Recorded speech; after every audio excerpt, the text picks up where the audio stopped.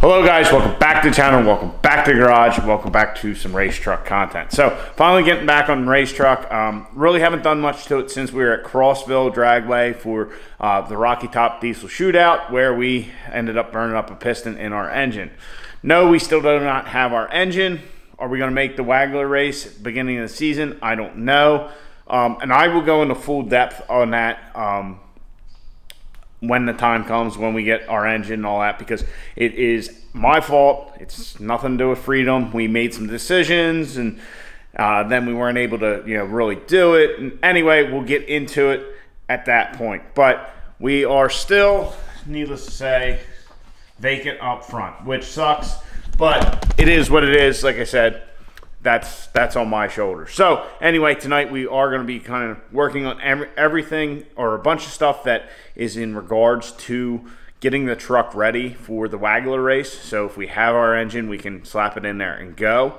So first thing we are doing, we are actually going to be changing out our shifter and getting rid of our fire punk anteater. So we are doing this because we are going to this Suncoast Fastback shifter.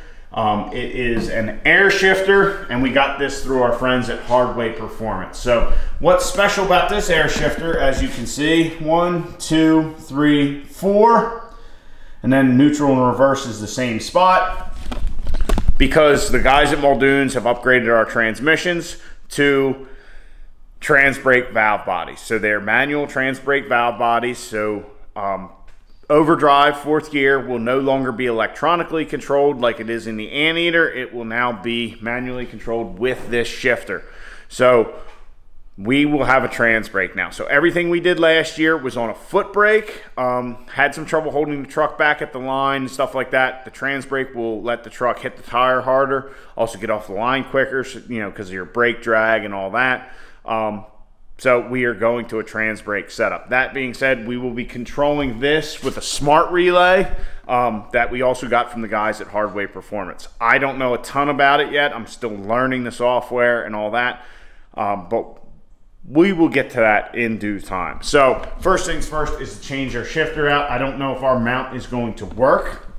Um, what I would like to do, because this one's mounted to the floor, is actually come off of our um, seat bracketry and try and have the shifter off that way. Might not work. I don't know yet until we get this one off, or we might just reuse what we have. Haven't decided that yet. So we're gonna get into that, get this fastback mounted. Now how this thing works, what's nice about it, why it's called a fastback, is if you pull, or if you push this down and pull the lever, you can go all the way back to one.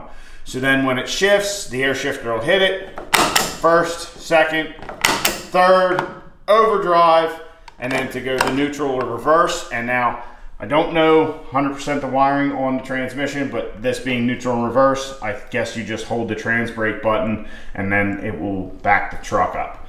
Just a guess, haven't really gotten anything yet to know 100% how it works, but that's kind of just telling you right there, neutral and reverse. And then to go in the park, push down the button, grab, and we are in park. So that's what we're gonna start off with, getting our fastback uh, fastback mounted in the truck and getting rid of our anteater. We're also going to get rid of our Turbosmart wastegate, or not wastegate, uh, blow-off valve controller because we stopped using the blow-off valve at Rudy's last year because they're obviously not necessary for what we're doing because nobody runs one, none of the pro mods, nobody like that. So we're just going to get rid of that. So, all right, let's get rid of this stuff and get this in.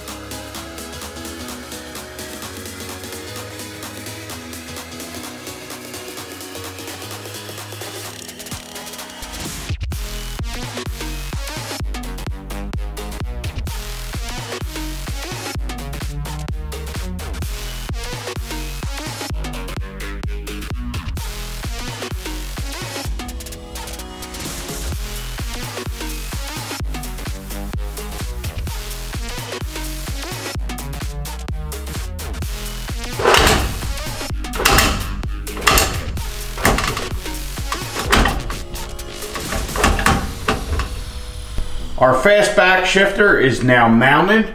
We have it on our original mount. I was going to do something off the side here. and It was just like, you know what? With time constraints and all that, it's easier to just go with what we had. I did cut it down because I originally had a brace here because before we were slapping the shifter and I didn't want it moving all around. But we can grab the shifter, put it back in first, and then the uh, air shifter will take over in first, second, third, overdrive, neutral slash reverse, and park. I have not run the cable down to the uh, transmission because we just have our mock-up transmission in there. We'll wait till we get our units back from Muldoon's. Um, that being said, this is not going to be ran off of air. We're actually going to run it off of nitrous oxide because doing what we do, we're always going to have pressure with that system. It's not like you have to worry about filling up a CO2 bottle or whatever. So every time we have our nitrous on, our shifter will work. We'll have a regulated setup and all that. Haven't gotten that far. Obviously, as you can see, we are also doing some unwiring. Uh, yeah. Uh, our wiring started off pretty nice last year at the beginning of the year and just ended up being a total mess, which it is right now, as you can see. Uh, pulled the ammeter out, pulled off our um, blow-off valve, all that kind of stuff. Also pulled out our CTS 2, our Edge CTS 2, which we use for gauges, uh, oil pressure, oil temperature, transmission temperature, so on and so forth.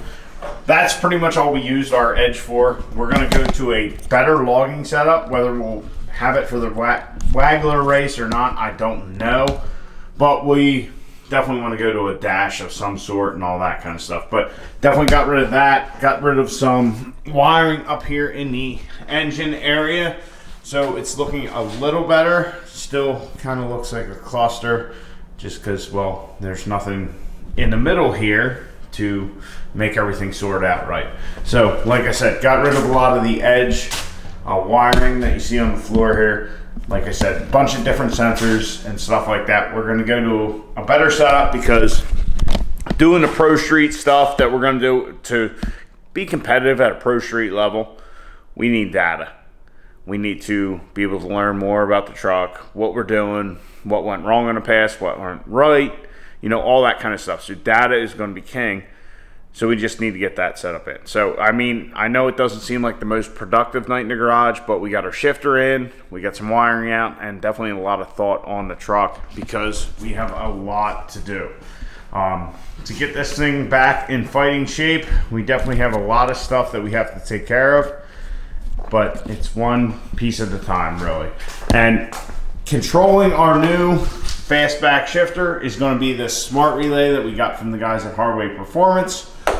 This thing is a pretty cool piece. Um, it will do a lot of controls. It's going to do all of the things that the Anteater did, plus some. Um, so we're going to be able to use that smart relay for all of our shifts, our bumps, our um, our trans brake, all that kind of stuff. And if you had a gas application, you could do way, way more than we're ever going to use on a diesel application. So something I still have to learn about, and then we'll wire it up and all that kind of stuff. So anyway, guys, I hope you enjoyed. Uh, like I said, just a little bit done in the garage tonight, but it's just another piece of the puzzle. So hope you enjoyed. Please like your video, subscribe down below. Catch you guys in the next one. Get out in your garage, get the wrench on your truck.